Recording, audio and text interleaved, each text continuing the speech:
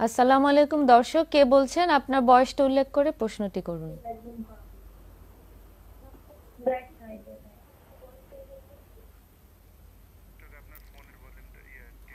ওয়ালাইকুম আসসালাম। ওয়েলকাম ওয়া- ওয়ালাইকুম আসসালাম। ওয়ালাইক- জি বলেন আমরা শুনতে পাচ্ছি। আপনার সমস্যা বলেন। আমার মার কোমর থেকে পা পর্যন্ত ব্যথা। হুম।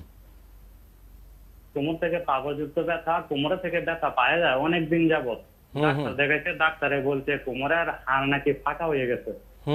কি করেনি স্যার? আপনাকে জানতে চাই। ওনার বয়স কত? উনি থাকেন কোথায়? চল্লিশ। থাকেন বার ইয়া সোনার গায়ে বারোর দিক জন্মান্ডি ইউনিয়নে। আচ্ছা এমআরআই করেছেন মাজার? হ্যাঁ এমআরআই করেছে। আচ্ছা এই এই ব্যথা ছাড়া আর অন্য কোনো সমস্যা হয় কিনা? যেমন পায়ের পাতা একেবারে অবশ হয়ে গিয়েছে পা নাড়াতে পারে না প্রস্রাব পায়খানা অবশ্য ধরে- অবশ্য- অবশ্য অবশ্য লাগে না। ওনার যখন ব্যথা ওঠে পায়ের হ্যাঁ। হ্যাঁ এমন লাগে কিন্তু শুয়ে থাকলে চড়ছে না উঠতে পারে না একদিন দুই দিন যাবত শুধু শুয়েই থাকে ব্যথা যখন ওঠে এখন কি চিকিৎসা নিচ্ছেন? এখন তার নারায়ণগঞ্জ পপুলার একটা ডাক্তার দেখাইছিল এখন উনি কিছু আসাদুজ্জামান উনি কিছু ওষুধ দিতে এখন খায় শুধু ব্যথার বড়ি রোলাক খায় ব্যথার বড়ি কিন্তু অনেক তিন তিন আচ্ছা। বছর যাবত রোলাক খাই যাচ্ছে আচ্ছা। এবং তারপরে তোমার আলসারের সমস্যা দিচ্ছে আবার। আচ্ছা। জি, ধন্যবাদ। আমি আপনার উত্তর দিচ্ছি। ওনার মার পিএলআইডি পিএলআইডি যেটা ডিক্স প্রলাস বা হাড় বেড়ে গিয়েছে। রুগীদেরকে হয়তো আমরা ডাক্তার সাহেবরা বলি যে, কোমরে রোগে চাপ। কোনো ডাক্তার বলি যে ডিক্স বেড়ে গিয়েছে, কাউ, কেউ বলে হাড় বেড়ে গিয়েছে, কেউ বলে ক্যানেল স্টোনোস্ট হয়েছে বাট অল আর পিএলআইডি মানে জিনিসটা হচ্ছে পিএলআইডি হচ্ছে ডাক্তারি ভাষা। আমরা এখন বাংলাদেশি মানুষকে বোঝানোর জন্য বুঝাই, রুগীরা আবার কনফিউজ হয়। যে স্যার, এক ডাক্তার বলেছে এই কথা, আপনি বলেন আরেক কথা, আরেক ডাক্তার বলে আরেক কথা। আসলে ঘুরে ফিরে ডাক্তাররা যদি আমরা বলি পিএলআইডি সবাই হাক করে থাকবে, এটা কি আবার? তো জিনিসটা হচ্ছে ডাক্তারি নাম আমরা বুঝাইতে গেলে এটা হয়। তো আপনার মার এখন এক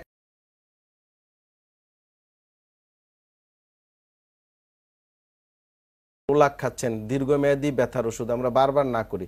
সর্বোচ্চ এক মাস, পনেরো দিন, বিশ দিন ডাক্তারের পর মানে পরামর্শে খাওয়া যায়।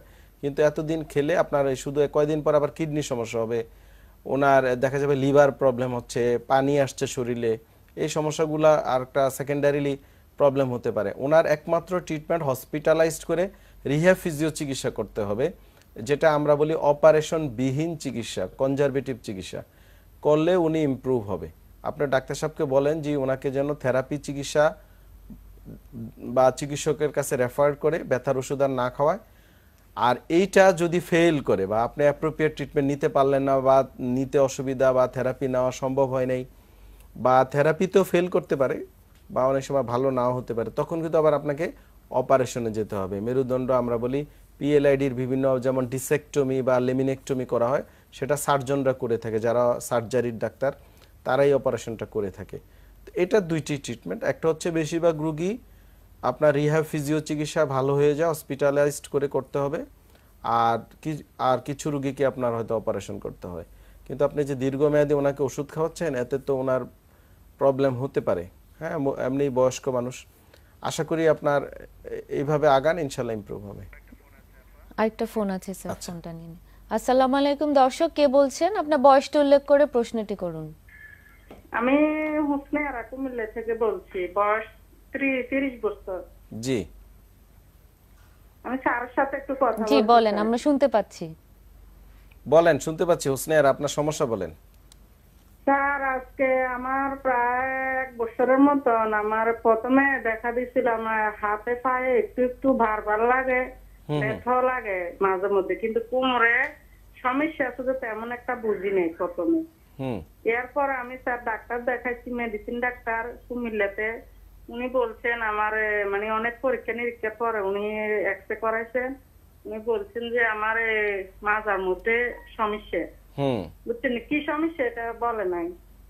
পরে আবার ওখানে গেছি এক মাস ওষুধ দিছে খাওয়ার পরে ওখানে গেছি। যাওয়ার পরে উনি বলতেছেন যে আমার মাজায় নাকি কোমরে রগের মধ্যে সমস্যা। এরপরে স্যার আমি আবার এক মাসের ওষুধ দিছে আমি খাইছি কয়েকদিন খাইছি না আমার কোনো মানে কোনো দিক দিয়ে কোনো উপকার পাচ্ছি না। তারপরে আমি আবার অন্য ডাক্তার দেখাইছি দেখানোর পরে উনি ও আবার এক মাসের ওষুধ দিছে। দেখানোর পরে কয়েকদিন খাইছি এগুলোর লগে ব্যথানাশক ওষুধ দিছে। তারপরে একটু কমে আবার একটু আমি সাংসারিক একটু কাজ টাজ করতে গেলে আবার দেখা দেয়। আচ্ছা। এরপরে আমি আবার আবার আমার যারা আছে, আমার আত্মীয় স্বজন, তারা কইতেছে যে, একটা এমআরআই করলে ভালো ভিতরে কোনো সমস্যা থাকলে তা ইয়া করতে। তো আমি নিজে ডাক্তারে বলছি যে, আমার অন্য একটা ডাক্তারের কাছে গেছি, অর্থোপেডিক ডাক্তারে, নিউরোলজি ডাক্তার। উনি বলছেন যে কিটা না কয় এমআরআই দিবেন লাই। আর আমি নিজে, উনি দিতে চান না, আমি নিজে বলছি যে এমআরআই দিবেন লাই। এবার এমআরআই করাইবার পরে আমার বলতেছে অর্থোপেডিক ডাক্তার উনি বলতেছেন যে আপনার রগের সমস্যা আমার ঘাড়ের দিক দিয়েও সমস্যা আছে ঘাড়ও একটু প্রবলেম করে ঘাড়ের দিক দিয়েও সমস্যা আছে আমার কোমরও সমস্যা। এখন তার আমি ওষুধ খাইতেছি এরপরে মাঝে আবার ফিজিওথেরাপিও নিচ্ছি বারো দিন। নেওয়ার পরে একটু সামান্য একটু ইয়ে হয়েছে এরপরে ব্যথা কমে নাই উনি আবার লেজার থেরাপি দিচ্ছে লগে মানে ফিজিওথেরাপি ডেলি এক হাজার টাকা করে আমি এক সপ্তাহ ব্যবহার করছি বাড়ি থেকে আসা যাওয়া করি কুমিল্লে আমার বাড়ি মিয়া বাজার আমি কুমিল্লে যাওয়া আসা যাওয়া করে দিছি এরপরে দেওয়ার পরেও এখন তার একটু কোনো কিছু মানে আগের মতন কোনো চলাফেরা করতে পারে না একটু কাজকর্ম করলে আমার আবার ব্যথা মানে উদর দেয় এখন কি সময় এটা সমাধানটা স্যার পাওয়া যাবে না আবার এক্সারসাইজও দিচ্ছে আমি এক্সারসাইজগুলো করতেছি আচ্ছা জি ধন্যবাদ। আপনার প্রশ্ন খুব ক্লিয়ার আপনি খুব সুন্দর করে বর্ণনা দিয়েছেন। জি আপনার পিএলআইডি রোগ এটা কিন্তু আমরা প্রায় রোগীদের এই সমস্যাটা বুঝি যে কোমর ব্যথা ব্যথা যদি পায়ে যায় কোমর থেকে ব্যথা ঝিঝি করে অবশ লাগে এক এক আঞ্চলিক কিছু ভাষা রোগেরা ইউজ করে। যেমন কিছু রোগী বলে স্যার পায়ের দিকে ষাট লাগছে। কেউ বলে স্যার তবদা ধরেছে। All are pain referred pain এটা অনেকে আবার ঝিঝির কথা বলে বা শিরশির জাতীয় অনুভূতির কথা বলে। তো এটা কোমরেও ব্যথা থাকতে পারে নাও থাকতে পারে। আবার শুধু ফুল একটা পায়ে ডান পা বা বাম পা পুরোটাতে এটা হতে পারে। তাহলে এই জাতীয় কমপ্লেন আসলে আসলে এমআরআই করতেই হবে টুডে টুমোরো এই যে ওনার কিন্তু উনি নিজের থেকে এমআরআই করতে চাচ্ছে। এটা একটা ভালো ইন্ডিকেশন যে বাংলাদেশের রুগীরা এখন কিন্তু সচেতন এবং তারা জানতে চায় সারা বিশ্বের মতোই যে তাদের সমস্যাটা কি জানতে। আমি কিন্তু আমার রুগীকে বলি যে, আপনার সমস্যা আগে নিজে বুঝেন যে আপনার সমস্যাটা আসলে কেন হয়েছে? কি কারণে? কারণ আমি তো আপনার পিছে সারাদিন থাকতে পারব না। এটা সম্ভব না। কোনো ডাক্তার আমরা রুগীকে রুগীর সমস্যাটাকে আগে বুঝাইয়া দিই। যে আপনার সমস্যাটা এটা, উনি নিজে বুঝলে তখন সে নিজের থেকে বুঝে যে তাকে কীভাবে কি করা উচিত, কি খাওয়া উচিত, কীভাবে চলাফেরা করা উচিত বা ট্রিটমেন্টটা কি করলে উনি আসলে এখান থেকে ব্যাক করে আসতে পারবে। তো আপনার এটা যেভাবে থেরাপি চিকিৎসা নিয়েছেন, এটাও কোনো পদ্ধতি না। বাংলাদেশে এখনও স্ট্যান্ডার্ড ফিজিওথেরাপি চিকিৎসাটা ডেভেলপ হয় নাই। রুগীরা বাসায় থেকে পিএলআইডি রুগী বাসা থেকে এসে গিয়ে থেরাপি দিয়ে কোনো লাভ না। লেজার পিএলআইডি রুগীর চিকিৎসা কিচ্ছু কাজ করে না, সম্পূর্ণ বোগাস। মানে এই সকল রুগীকে হসপিটালাইজড করে বিভিন্ন ম্যানুয়াল থেরাপি ডিকম্প্রেশন থেরাপি এখানে কিছু ইলেকট্রোথেরাপি আছে আর কিছু এক্সারসাইজ আছে।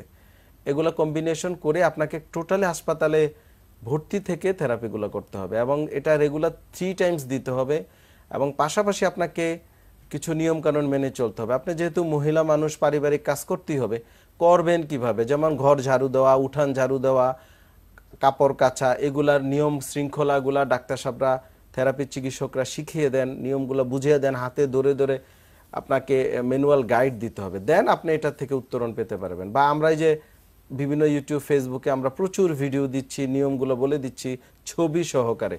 এগুলা এগুলো আপনাকে মানতে হবে, ওজন দেখতে হবে। আর এই পিএলআইডি আপনার যে সমস্যাটা, এটার চিকিৎসা যদি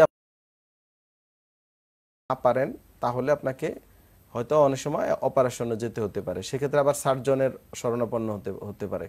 সার্জারি পরেও আবার ফিজিওথেরাপি নেওয়া লাগতে পারে। তো আমার মনে হয় আপনি অ্যাপ্রোপ্রিয়েট সঠিক পন্থায় ফিজিওথেরাপি চিকিৎসা সঠিক জায়গায় নেন ইনশাল্লাহ ইমপ্রুভ হয়ে যাবে। আর মেনটেন করতে হবে এক্সারসাইজগুলা চল- চলতে ফিরতে এগুলা, নিয়মগুলা মেনে চলতে হবে।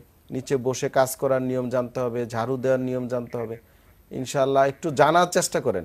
জানলেই আপনি উত্তরণ পারবেন। মানে এই সমস্যা থেকে বের হয়ে আসতে পারবেন। বাংলাদেশে সচেতন হতে হবে। নিজে সচেতন হতে হবে। এখন তো কিন্তু অ্যাভেলেবেল ডাটা পাওয়া যায় ইন্টারনেটে রুগীরা দেখলেই সে বুঝতে পারবে।